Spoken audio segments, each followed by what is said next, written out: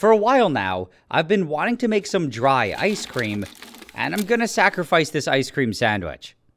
The first step is to remove its skin. I'll then put it into a super cold freezer, and I'll leave it in there for a few hours. By now, it should be nice and cold, and the next step is to cover it with this giant plastic dome thing. With this in place, I can turn on my vacuum pump and I'll pull out all the air. This caused the ice cream sandwich to grow a little, and I think it's because I didn't leave it in the freezer for long enough. Either way, though, what I was doing here was something called freeze drying. Under the strong vacuum, it was no longer possible for liquid water to exist, and it could only either be a solid or a gas. So, all the water in the sandwich, which was ice, was turning directly into vapor without ever melting or becoming a liquid.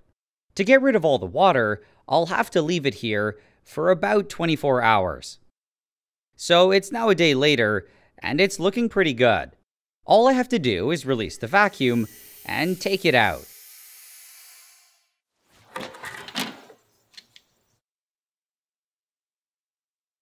What I'm left with looks almost the same as before, except it's really hard and crumbly.